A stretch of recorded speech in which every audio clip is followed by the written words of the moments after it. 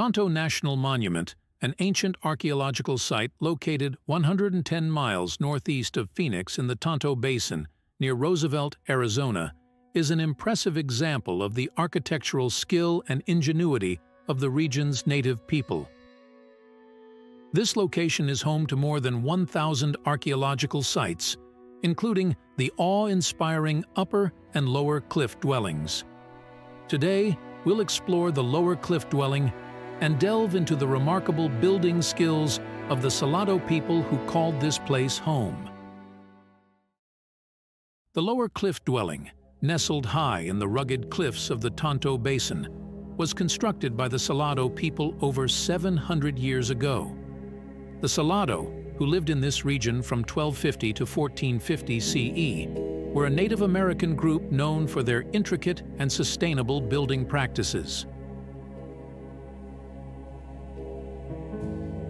The Salado selected east-facing caves to build their homes, a strategic choice that provided natural insulation. These caves remained cool and shaded during the scorching summer months, while the winter sun warmed them, creating a comfortable living environment year-round.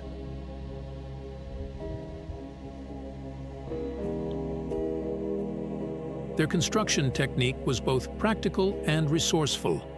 The walls were built using rock and mortar made from clay-rich soil. Each wall was carefully constructed in layers, allowing each section to harden before adding the next. This method ensured stability and longevity.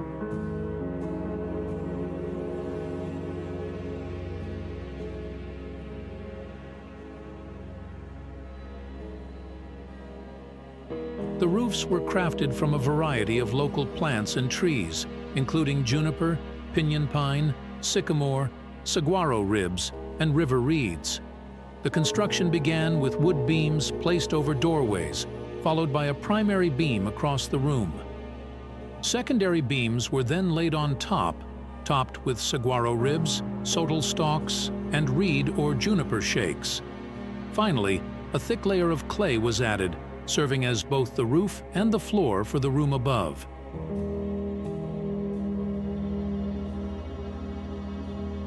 The Salado people lived in and around this area for more than 10,000 years.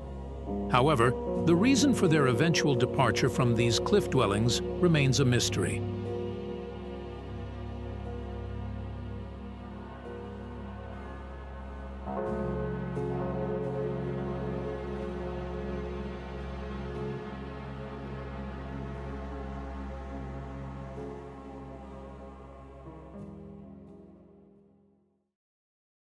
In recognition of the cultural and historical significance of these cliff dwellings, President Theodore Roosevelt, using the 1906 Antiquities Act, designated the Tonto Cliff Dwellings as a national monument on December 19, 1907.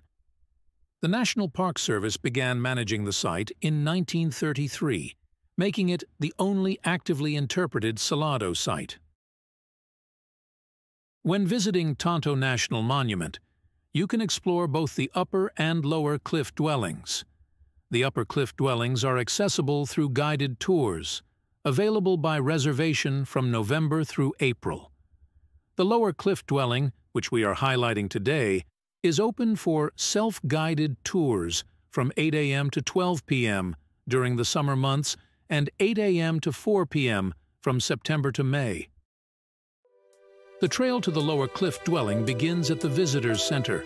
This half-mile-long trail is paved, but be prepared for a steep incline as you make your way up to the site. The effort is well worth it for the breathtaking views and the chance to step back in time.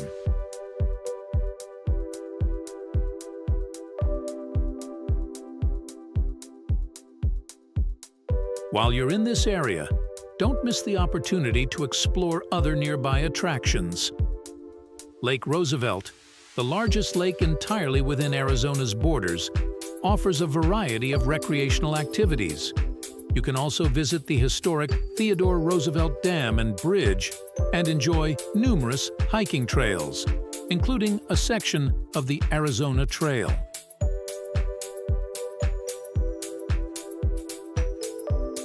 Tonto National Monument is more than just a glimpse into the past.